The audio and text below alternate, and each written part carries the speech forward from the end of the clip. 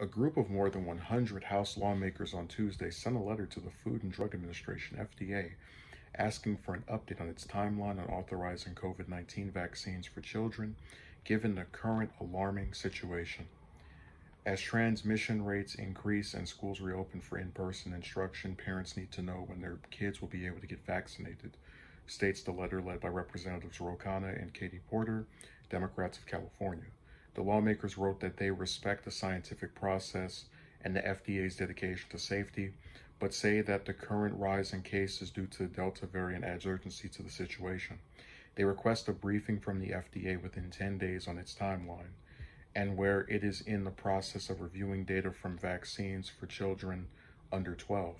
The current situation is alarming for parents whose children ages 2 to 11 will be in months of school without vaccinations available, the lawmakers wrote. Attention has been rising on the lack of vaccines for children under 12. As schools go back into session, the number of cases rise among children, though outcomes are still generally seen as less severe for them. The lawmakers cite a letter from the American Academy of Pediatrics this month urging the FDA to move quickly in its efforts to authorize vaccines for children given the threat of the Delta variant. Peter Marks, a top FDA official, said earlier this month that data on vaccines for children ages 5 to 11 could come early in the fall and that it will take a few weeks at least to review them. He also noted, speaking at an event hosted by the COVID 19 Vaccine Education and Equity Project, that the agency may have to take more time and consult advisory committees if there are safety if there are safety questions. So I mostly did this story because I haven't done one on Ro and I think two or three months. It's been a while um, since there was a story on Ro, but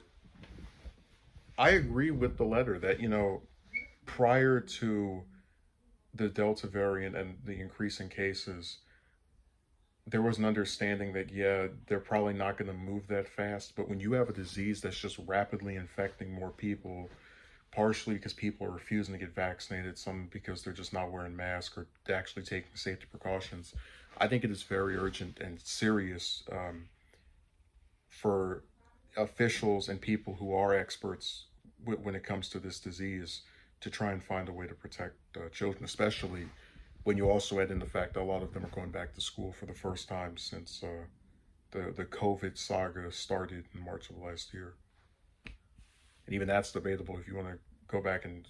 you know it was called COVID nineteen because it technically started in December of 2019, but then didn't really become a major thing over here until you know March. So, you know, I, I agree with the letter, and I'm I'm glad that him and Porter are leading it because there there are legitimate left wing criticisms of Biden to make uh, when it pertains to his handling of the virus.